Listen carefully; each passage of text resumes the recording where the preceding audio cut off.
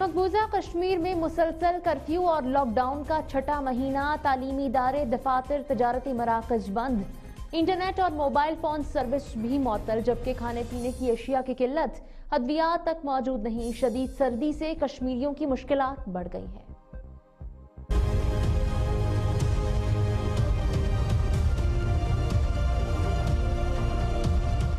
مقبوضہ کشمیر میں چھ ماہ سے جاری بدترین کرفیو نے مقبوضہ وادی کو چھاونی بنا رکھا ہے۔ وادی میں ایک سو انہتر روز سے سکول کالجز، دفاتر اور تجارتی مراکز بھی بند ہیں۔ انٹرنیٹ اور موبائل فون سروس بھی تاحال معطل ہے۔ وادی میں کھانے پینے کی اشیاء کی شدید قلت ہے۔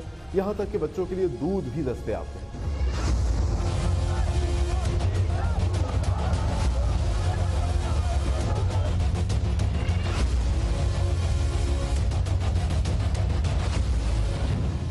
ادھر برف باری نے کشمیریوں کی مشکلات میں مزید اضافہ کر دیا ہے۔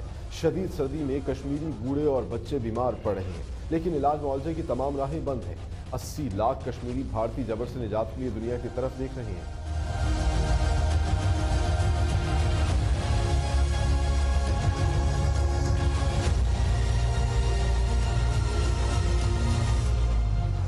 مقبوضہ کشمیر میں بنیادی انسانی حقوق کی پامالی عروج پر ہے اور قابض فورسز گھر گھر چھاپے مار کر بے گناہ کشمیریوں کو گرفتار کر رہی ہے۔ پانچ اگست سے جاری کرفیو اور پابندیوں کے دوران بھارتی فوج خواتین سمیت درجنوں کشمیریوں کو شہید کر چکی ہے۔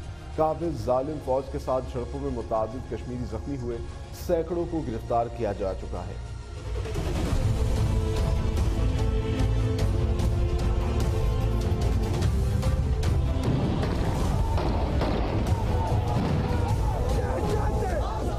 مقبوضہ وادی میں تمام تر پابندیوں کے باوجود آزادی کے متوالے احتجاج کے لیے سڑکوں پر نکل آئے۔ مظاہرین نے حریت رہنماؤں، کارکنوں اور زیر حراست کشمیریوں کی فوری رہائی کا مطالبہ کیا اور آزادی کے حق میں نعرے لگائے۔ مظاہرین کا کہنا تھا کہ نہت کشمیریوں پر انسانیت سوز مظالم اور حریت رہنماؤں کو نظر بند رکھ کر کشمیریوں کو جد و جہد آزادی جاری رکھنے سے نہیں روکا جا سکتا۔